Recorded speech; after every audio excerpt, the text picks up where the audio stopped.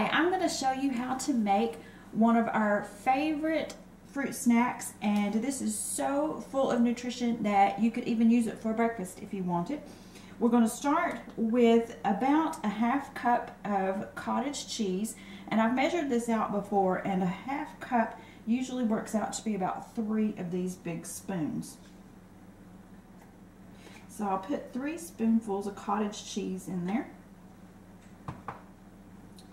And now I'm going to add some organic flax oil, about one tablespoon.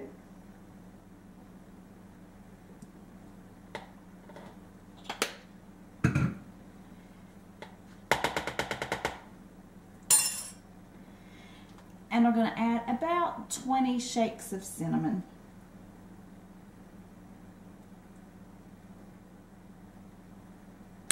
And the next thing you want to do is mix it with an immersion blender that has an attachment on it like this.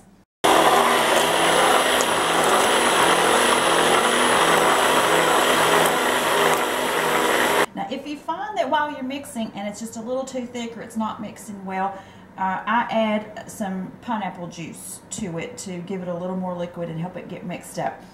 So once I'm done with that, I've got it all mixed and, and the uh, mixer takes out all of the cottage cheese clumps and now it's all smooth.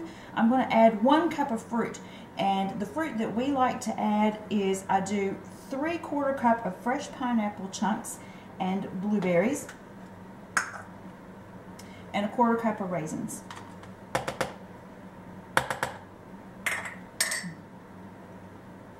And on top of that, I add some walnuts. And I probably have about um, five or six nuts here that I've broken up into little pieces.